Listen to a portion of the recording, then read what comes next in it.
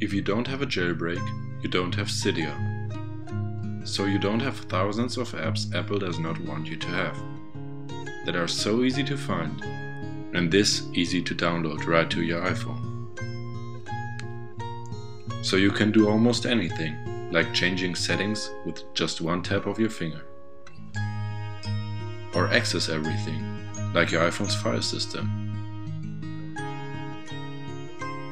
As well as you can download everything, like files in Safari or YouTube videos in the YouTube app.